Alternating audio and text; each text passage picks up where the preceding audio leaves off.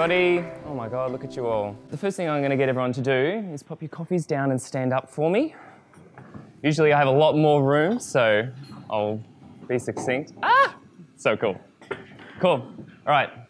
So, what I'm going to get everyone to do, can I please get you to put your heels together and your toes apart in a little V shape?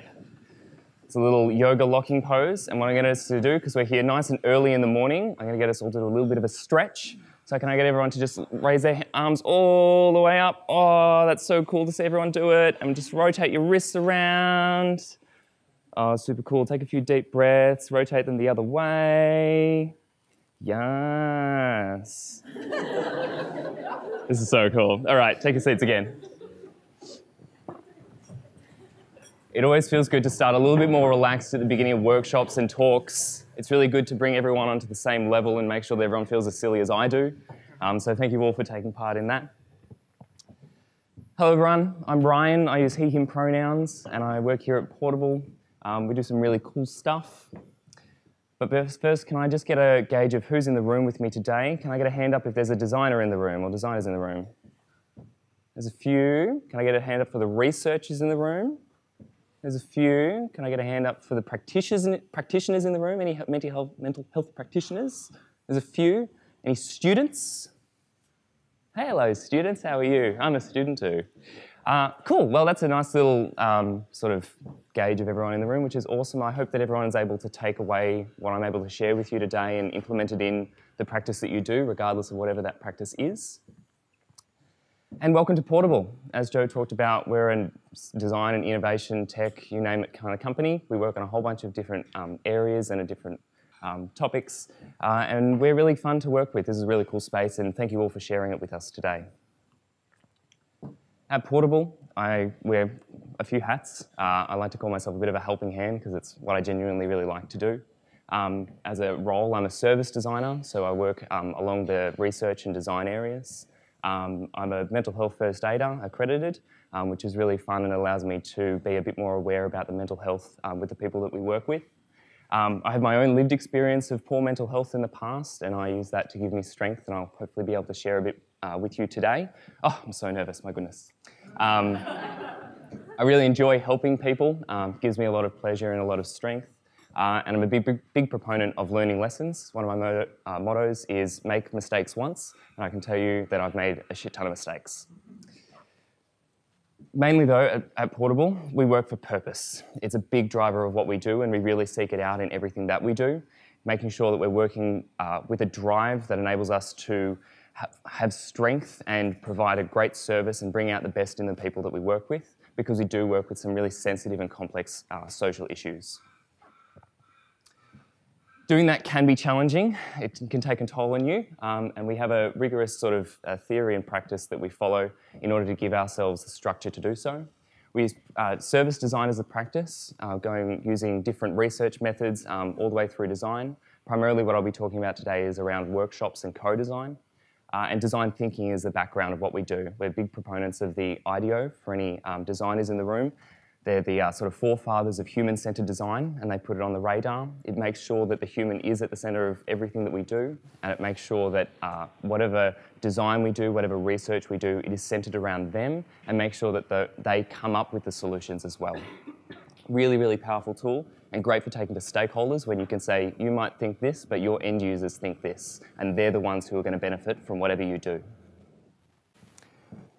Service design is often used in larger corporations like banks and, and well, government as well, but um, particularly in larger organisations uh, where a customer is at the end of the activities that we do. A lot of the time it's to find better and more efficient services so that you can get more money out of them um, or create a better experience for that end user, which is great, but it's also great for other complex problems. Being able to utilize a toolkit that puts the human at the center of what we do is fantastic for complex issues like mental health, like justice and education, where the end user is sort of the future and is someone who can really benefit from having themselves put at the center of everything that we do.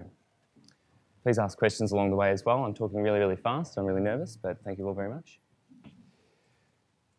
some of the areas that we work with, we have these three kind of pillars at Portable that we work with. Sorry for the people over there who might not be able to see the screen, but uh, they are health, justice and education.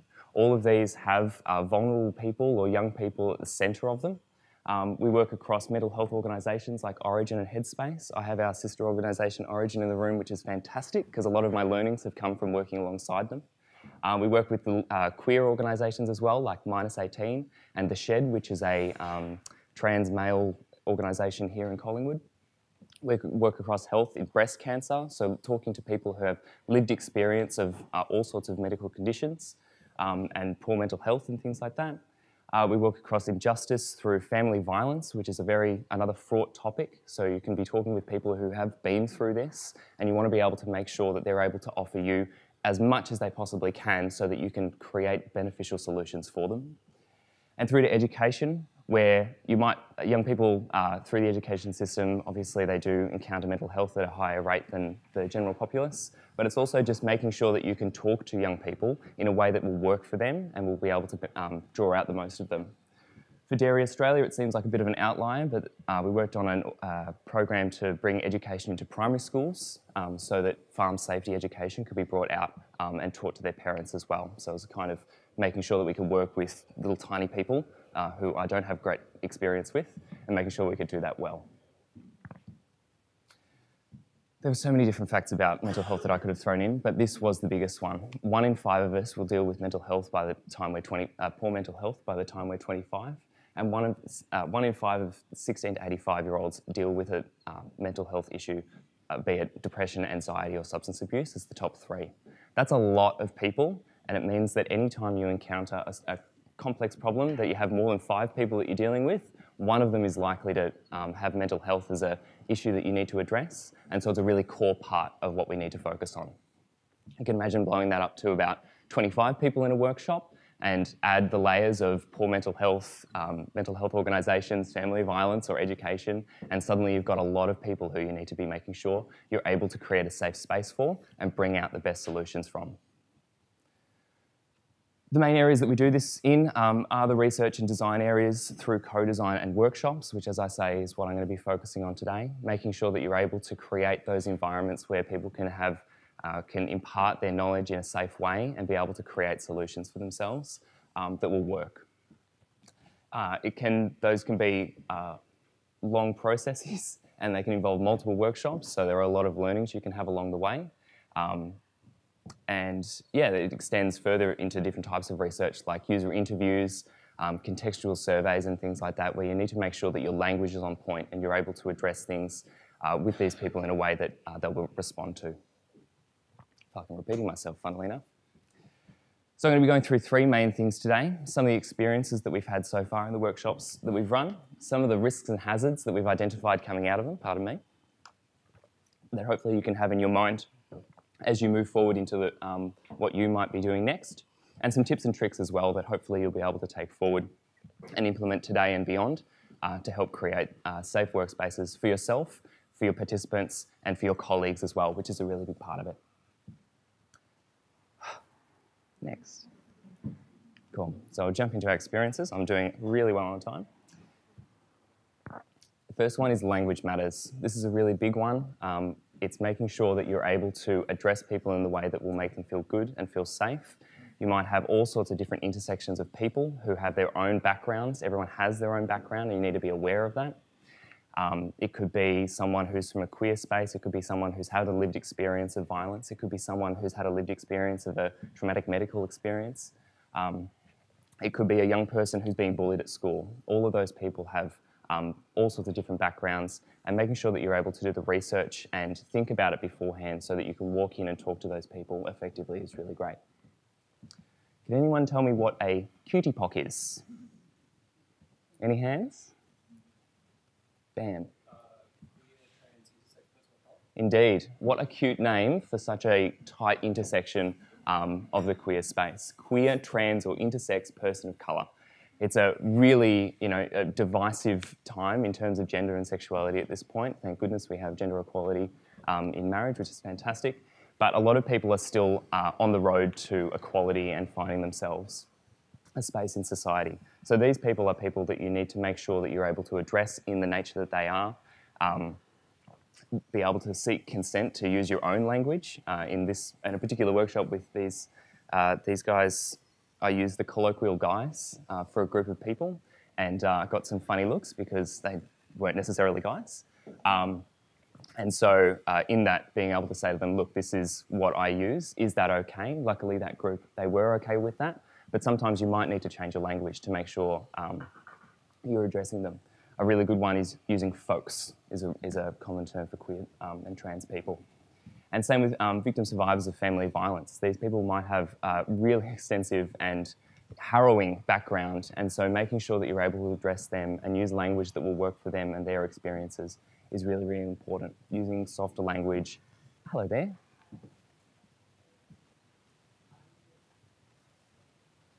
Okay, sure. Absolutely. Thank you for that. And there's even that, exactly.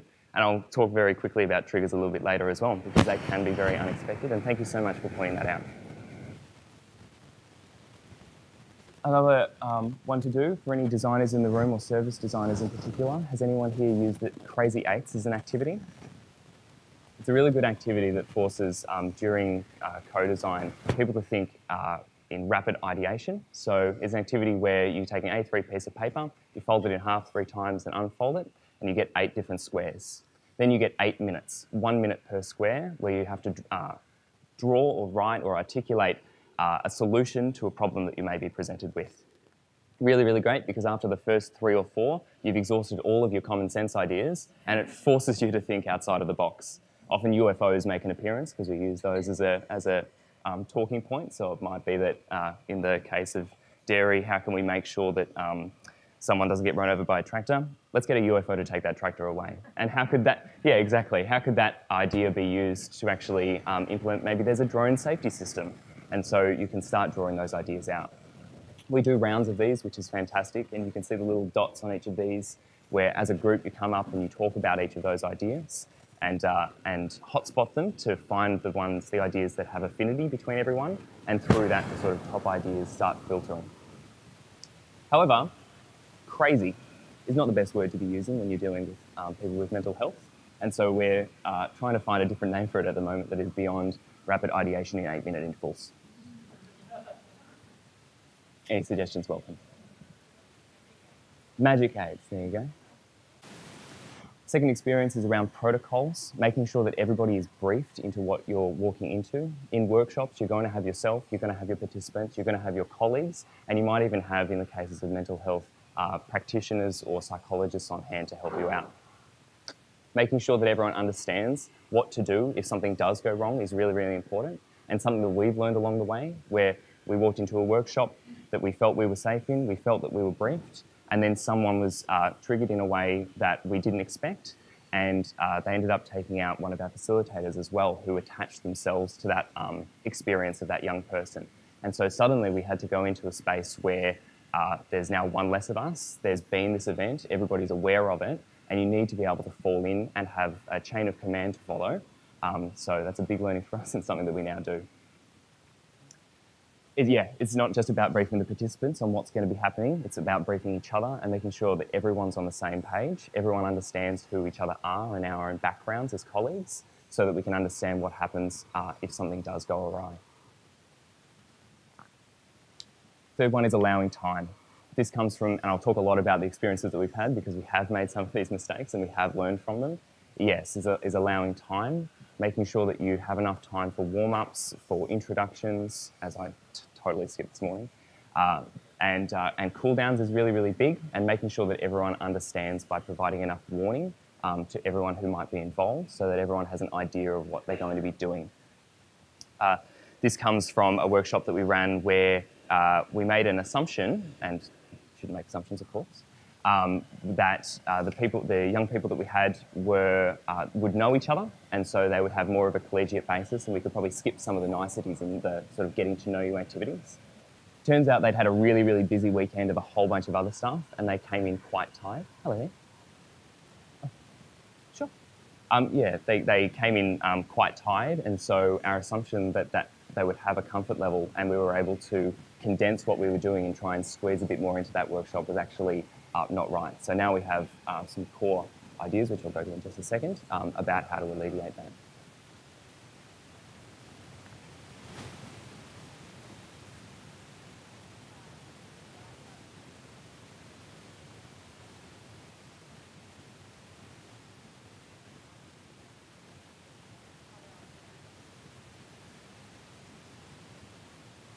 Uh, we have developed, I mean, for, for research activities, um, particularly the ones that we're doing alongside Orygen, we seek out wellness plans from our young people. So we are briefed as well beforehand in how to address them um, in a constructive way. Uh, but we also have a couple of other tactics that I'll go into in making sure that everybody, uh, when we do come in and we do, we do do introductions, that everybody sits on the same um, level and everyone understands what goes into making a safe and creative space um, for everybody involved. In allowing time though, these are our three kind of core things that we've identified. Making sure that workshops that you run um, that might touch on a complex issue, be it education, something in justice, um, or health and, and mental health, is at least four hours in length. For any designers in the room, this might go without saying, but it is something that is really, really important, which makes sure that you have enough time for doing those introductions, for doing those cool downs, for having debriefs, and making sure that even in one four hour period, you might only conduct one one hour long activity so that everybody can have the time to feel themselves and feel good about what they're doing. Making sure that the agendas go out for that workshop around at least two weeks in advance. We try and hold ourselves to this, but sometimes even we don't. Um, make sure that, that can, the agendas can go out to the participants. They can go out to those other organisations that might be participating, and everybody's clued in on what's going to be expected. It's a really big part of the briefing process for participants, um, making sure that they understand what they're going to be going through uh, and including that 45 minutes for introductions. That's a really, really big one and um, is, the, is the level that we've settled at, which does give time for, you know, you might have five or six different facilitators that need to introduce themselves to the young people. You might be doing um, different warm-up exercises like a yoga exercise. Um, and we have a couple of others. Uh, you might be introducing other organisations. Uh, we've held a couple of workshops at uh, Facebook, which has been really good for a project. And so being able to bring Facebook in and talk about what they're doing in um, the mental health space was really good. And so it gives everyone just that breathing time to settle in, um, maybe have a bite to eat if it's around lunchtime, um, and get into it. So I'll talk about any questions on those learnings at all at this point? Yes. So I'll into some of the risks and hazards that we've identified. These are things that have come up that we didn't predict as we were going through and we've learned from but are really crystalline examples of what you can do um, to alleviate some of these in the, in the future for yourselves. Persona attachment being a big one of these. This was not something that we expected and uh, was a surprise. Personas, for any designers or researchers, hopefully anyone in the room who's encountered a persona before, knows that they're a really fantastic tool in research and design. They allow you to typify a user from whatever research you've been doing and make sure that whatever uh, design solutions, the way that you articulate about that user is crystallized really well.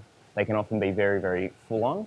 So you might have a lot of information about their background, about their goals, their age, their name. You might have a quote that's come out of some of the interviews you've conducted. They're really, really constructive and fantastic to do. But sometimes they can almost be too much. We had an experience, uh, the actual, what set off in that workshop, um, the young person was that we were bringing uh, personas into the workshop that talked about uh, people with lived experience of suicide. So we had, I think his name was Tommy, and he was 16 and he was being bullied and he was having a really tough time and he'd taken his own life. And that was, or he was close to taking his own life. And that was the persona, a very high risk person, which is great when you want to talk about these people to external um, stakeholders and be able to articulate it in reports. But when you're talking to someone who might associate with that, that can actually be really fraught so what happened was that uh, a person in the, uh, in the workshop said, oh shit, I had a friend named Tommy, and this is their one year anniversary of taking their life. And so it was a very, very sudden and dramatic turn that, um, that was taken. Uh, and it's where we learned a lot about the protocols through that experience.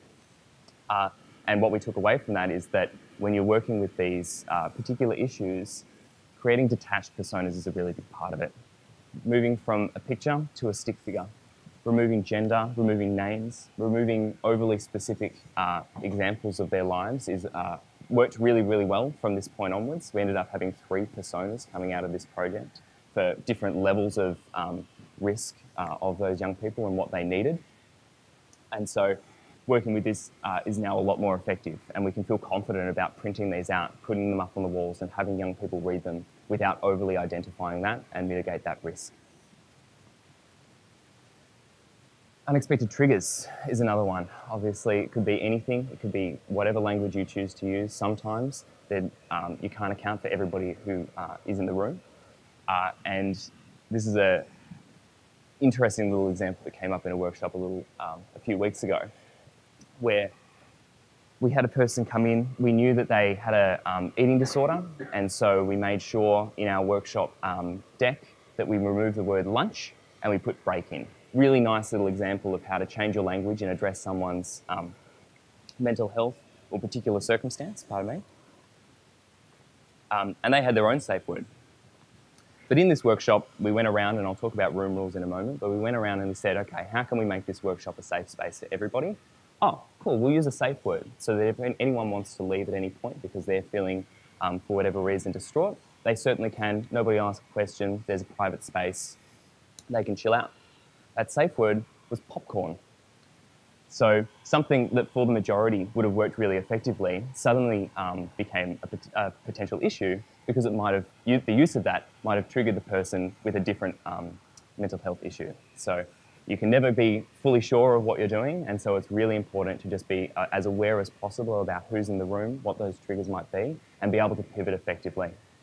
Luckily, in that one, we had um, our, our psychologists, researchers, and psychologists in the room to be able to work with that. Um, and it was addressed really well because we had a chain of command and protocols to put in place.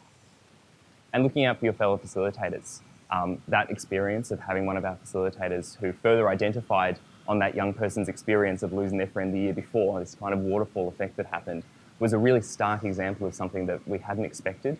We had thought we had briefed effectively walking into that situation. And uh, after that point, we were like, okay, well, we need to do more. So now we sit down beforehand for a good half an hour, 45 minutes. We talk about what we're going to be going into. We make sure that we understand that there might be triggers within us and uh, what we might be able to anticipate so that we can make sure that uh, we're able to look out for each other as well as our participants. It's a really big part of it and was something that um, pushed me to do the mental health first aid course that I did, and anyone should do it if you can. Um, which allows us to be more aware of uh, the people around us and how to effectively triage those people depending on what their experience might be. Open space visibility, this is a really big one as well. Again, something that we didn't really see coming, even though we felt that we had prepared effectively. We actually held a workshop um, in this space, um, less people, uh, but we had three different tables set up. We had two out here, and we had one in the room behind us these two, really great. Out here, all the participants able to see each other, able to communicate effectively. The facilitators were able to make eye contact with each other and the psychologists in the room, which was really great and went into that whole protocol idea of being able to triage people. However, we had one group behind here, which is great. We've got full whiteboards in there. It's fantastic. You can draw to your heart's content. Uh, but in that, um, at one point, one of the psychologists stepped out of the room and uh, there was someone, someone attached to something and uh, suddenly there was an, uh, pardon me, suddenly there was a point at which the facilitator was left alone in a room without being able to make eye contact, eye contact and communicate with the other people around them in order to um, do that triage. So that was and eventually like it, it was worked out, which was really good. But just that immediacy of oh dear, something's not quite right, and I'm unable to communicate that to the people around me and my support people uh, was a was a really big learning as well. So I want to leave you with some things that you can hopefully take away with you today and implement in whatever workshops that you're going to be running next. Firstly, creating those safe workshop environments is a really big part of it, making sure that you do take the time to understand who the people are that are going to be in the room and be able to address them effectively, be able to work out um, between each other how you're going to be able to do that. A couple of really cool things to do. As some of you might have done, you've got your name tags that you might have put down your pronouns with anytime you're working with a queer audience, this is a really fantastic thing to do. It gives people agency over how they would like to be addressed. For those QTPOC people and for the trans people we had in the room that day, it was a really fantastic thing to understand at a glance that someone might prefer to have a um, she, her, or they, them pronoun that otherwise might not have um, been obvious.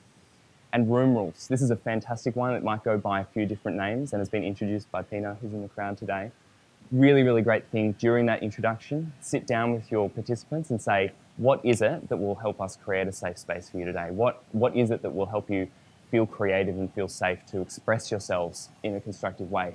It might be the right to ask questions. Everything stays in the room, so there's a confidentiality. Uh, everybody has an equal voice is a really big one, and everyone has an opportunity to speak and to listen. And then bringing up all of your participants to sign that puts everybody on the same page and everybody understands. This activity only takes 10 minutes, but is probably one of the biggest, pardon me, biggest things that you can do at the beginning of a workshop to make sure that everybody is on that same page and everybody understands what will go in and be respectful to everybody else. Preparing for that effective facilitation, making sure that you understand what's going to be going into the workshop you're going to run as facilitators and how um, the activities that you can run within that to make sure that everyone's feeling good. We have a few little ones that we can do. The yoga warm-ups are a fantastic thing to do. As I say, it puts everybody on the same level, makes everyone understand that we're here to feel silly and we're here to feel creative and we're here to, to, to chill out a little bit and talk about um, potentially our lived experiences or the lived experiences of people around us. Um, usually when I have a lot more room, because there's so many of you today, um, we put our arms up. We do large breathing exercises. Another one that we have is called fall in, where you all stand in a circle. And the idea is that you slowly take a step forward. And then when, uh, after a few rounds, everybody's able to synchronize on that. And it's a really fun and effective way of going about things. At the end of workshops, being able to chill out and have a debrief, we usually have a group discussion um, that allows everyone to express themselves. But we also, if anyone, is anyone here heard of Smiling Mind? Mindfulness there's a few nods around the room fantastic app made by Australians, so it's good to hear someone talk to you with your own accent as opposed to an American accent. Um, and we run one of these at the end of each of our workshops that's called Body Scan, where everyone finds a place to sit. It might be on the floor or a seat against the wall. Uh, and they're walked through this uh, a series of exercises where they are brought back into the present. They're brought back into feeling their hands and their feet and their legs, and it puts people away from that mental task that they've been doing and back into the present, which is a really good way of um, bringing people back. And having food and handsy things on tables. This is something that's come up only in the last few ones that we've done. It might be uh, quite an obvious thing for the psychologists in the room, uh, but as designers, we weren't as aware. Um, having little bouncy balls, Play-Doh, like um, candy snakes, and all sorts of just like children's toys. Having someone do something with their hands, having a presenter today is fantastic um, it really allows people to, to take away from feeling in themselves and have something to do that distracts them while they talk. Really, really effective. And I was, while I wasn't aware of it beforehand, after I saw it in practice, it was just an incredible thing to see someone just bouncing a ball and suddenly they went from not talking to expressing themselves really, really well and we got some really great stuff out of them. And implementing that support scaffolding. This is a kind of term that I've coined, but um, it's about making sure that everybody is briefed. Uh, everyone, you do a debrief afterwards. You uh, practice reflective learning, which is a really big one. Briefing, so I'll go through them quickly. So pre-briefing, obviously sitting down beforehand for an extended period of time, talking each other through what you're going to be going through, perhaps identifying with each other what might be a trigger for you. If it's, if it's you know, I, I had my nan die earlier this year, and we were going into um, a workshop dealing with aging. And so that was something that um, I identified with myself. I communicated that outwards to the people around me. And while it didn't come up as a thing, I felt a lot more secure as a facilitator to express myself and be a little bit more forward so that everyone else was able to do, do the same. Debriefing afterwards, we have an, uh, a practice that we call, oh God, what is it? Learned, opportunities, and want to know. Uh, as the three things, which allows us to talk about, we write them down on sticky notes, put them up on the wall. Any service designers in the room probably um, nod their head to this one. But it's a really good one to be able to say, what have I learned out of this? What have we learned not just from the participants, but what have we learned about ourselves and the way that we run our workshops? What are the opportunities we see for the uh, improvement over time of these workshops as well? And what do we want to know to make this uh, better in the future? After that uh, workshop where we had that sort of trigger waterfall, um, we said, well, what can we do? We implement um, more rigorous protocols. We implement a more rigorous and understanding um, chain of command if something does go wrong. And since that point, we've been able to conduct a lot more, not necessarily intense, but in-depth um, workshops with people who deal with poor mental health, and they've been a lot more effective. And reflective learning. This has also recently come onto the plate, and I try, didn't realise that I practice it myself, which is sitting down after a workshop, after an interview, after any dealing you've had with someone external, and saying, how did I go? Just reflect on the language that you've learned. Reflect on what you have learned about your tone, about your voice, all of those things go into making sure that as an individual, you're able to take that forward into the next workshop that you run. As I mentioned earlier, we've got the mental health first aid, really great qualification to get if you can. Um, it's a two day course and it uh, really brings attention to what you can do to uh, understand the, what might be triggers in others or behaviours that might be indicators of poor mental health, how to deal um, and triage in that first instance with people um, who might be affected, and imp uh, implementing an employee access program for anyone who might be a business owner here, pardon me, and have uh, employees. We've recently partnered with the Mind Room, which is a psychologist organisation just down on Wellington Street, uh, and we now offer all staff um, psychological uh, appointments if they choose to on the house, which is really great for that idea of um, external debriefing. Sometimes you might be going through something that you don't really want to share with your colleagues because you're going to work with them the next day. Or maybe you've experienced something that you didn't want to share in a debrief. Now you can. You can go elsewhere and you can talk through those things uh, and be able to, to feel a lot better about it. And above all, you let your purpose drive you. Purpose being the core of what we do at Portable and what we seek out, it gives us strength. For me, this is the, probably the biggest thing because you, work, you walk into a workshop with a complex social issue like mental health, family violence, all of those different areas, and you're able to say, we are doing good. We're here to bring out the best in people and to find solutions to the problems that have affected them that a lot of people, a lot of other people aren't able to address. That's a really big part of it and enables you to take those couple of extra steps. Particularly when you have that support scaffolding around you, you can take those extra couple of steps and you can go that little bit further and find better ways of providing solutions and bringing those out of the people that you work with. And that's me.